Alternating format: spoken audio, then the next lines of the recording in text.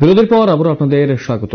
যে বিষয়টি নিয়ে আলোচনা করব এই মুহূর্তে, ফেব্রুয়ারি ষোলো তারিখ নির্বাচন এবং এই নির্বাচনকে কেন্দ্র করে শাসক দল বিজেপি থেকে শুরু করে বিরোধী দল কংগ্রেস, সিপিএম এবং তৃণমূল কংগ্রেস পর্যন্ত তাদের প্রচারাভিযান বেশ তেজিভাবেই চালিয়ে যাচ্ছে। বর্ডার গোলচক্করের কালিকাপুর এলাকায় তৃণমূল কংগ্রেসের প্রার্থী পূজন বিশ্বাসের বাড়ি বাড়ি প্রচার দেখা গেল এবং সাত রামনগর বিধানসভা কেন্দ্রের প্রার্থী, তৃণমূল কংগ্রেসের প্রার্থী পূজন বিশ্বাস এই মুহূর্তে বাড়ি বাড়ি ভোট প্রচারে বের হয়েছেন। তৃণমূল কংগ্রেসের পক্ষ থেকে এই মুহূর্তে তারা বিভিন্ন জায়গাতে প্রচার করছেন এবং সাতরামনগর বিধানসভা কেন্দ্রের তৃণমূল কংগ্রেসের প্রার্থী পূজন বিশ্বাস এই মুহূর্তে প্রচার করছেন। বিগত সময় অবশ্যই, বিগত ইলেকশনে আমরা দেখেছি যে পূজন বিশ্বাস কংগ্রেস দলের হয়ে সাতরামনগর বিধানসভা কেন্দ্র থেকেই প্রতিদ্বন্দ্বিতা করেছিলেন যদিও ফল খুব একটা ভালো করতে পারেননি। কিন্তু এবছর পূজন বিশ্বাস অবশ্যই আশা করছেন যে ফল গত বছরের তুলনায় তৃণমূল কংগ্রেসের ক্ষেত্রে অনেকটাই ভালো হবে তেমনটাই কিন্তু মনে করছেন তিনি এবং সাধারণ মানুষের কাছে গিয়ে তিনি ভোট ভিক্ষা যেরকম ভাবে করছেন স্বাভাবিকভাবেই সাধারণ মানুষের ভালো প্রতিক্রিয়াও পাচ্ছেন বলে জানিয়েছেন তিনি। কি বলছেন পূজন বিশ্বাস? আজকের এই প্রচার অভিযানে বেরিয়ে শুনব। নির্বাচন কমিশন থেকে আপনাকে? নির্বাচন কমিশনকে আমরা যখন কমপ্লেন করেছি তখন ওরা ওনারা আমাদেরকে আশ্বস্ত করেছেন যে এরকম ঘটনা সামনের দিন আর হবে না। এবং আহ, বেশ কিছু জায়গাতে আমাদের ফ্লেক্স ফেস্টুন ফ্ল্যাগ এগুলো ফেলে দিচ্ছে এবং এগুলো আমরা জানি কারা করছে। দু তিনজনের নাম আমরা পেয়েছি। এগুলো আপনার জয়পুর বর্ডার গোলচকের এরিয়াতে দুজনের নাম পেয়েছি। দুজনের নাম ওইখানেরই বর্ডারেরই একজন আছে। গিয়ে আবার কৃষ্ণনগর ওগুলো, এগুলো ফেলেছে।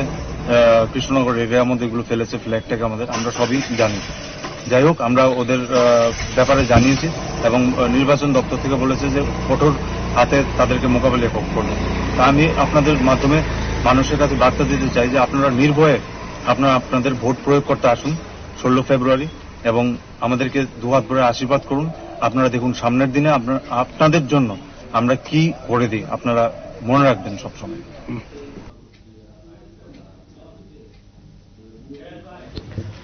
আপনারা শুনলেন পূজন বিশ্বাস কি বলেছেন এই বিষয়টাকে কেন্দ্র করে এবং তার পাশাপাশি বর্ডার গোলচক্করের কালিকাপুর এলাকায় তৃণমূল কংগ্রেসের প্রার্থী পূজন বিশ্বাসের বাড়ি বাড়ি প্রচার এবং সাত রামনগর বিধানসভা কেন্দ্রের প্রার্থী, তৃণমূল কংগ্রেসের প্রার্থী পূজন বিশ্বাস বাড়ি বাড়ি প্রচারে বের হয়েছেন। বিভিন্ন জায়গাতে তিনি ইতিমধ্যেই তাকে দেখা গেছে প্রচারে বের হতে। অবশ্যই সাত রামনগর বিধানসভা কেন্দ্রের বিজেপির হেভিওয়েট প্রার্থী রয়েছেন সুরজিৎ দত্ত। একই রকম ভাবে বাম সমর্থিত নির্দল প্রার্থী রয়েছেন পুরুষোত্তম রায় বর্মন অন্যান্য আরও ইন্ডিপেন্ডেন্ট প্রার্থীও কিন্তু রয়েছেন তারপরেও পূজন বিশ্বাস অনেকটাই দৃঢ় প্রত্যয়ী এবং দৃঢ় বিশ্বাস তার রয়েছে যে তিনি বিজয়ী হবেন এমন এমন কথাই কিন্তু জানিয়েছেন পূজন বিশ্বাস।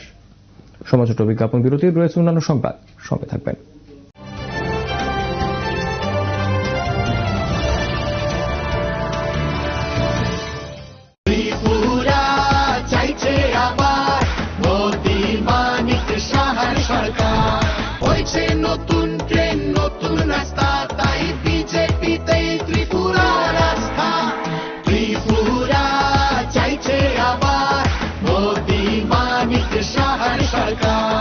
বিজেপি সরকার গড়ুন পদ্মফুল চিহ্নে ভোট দিন।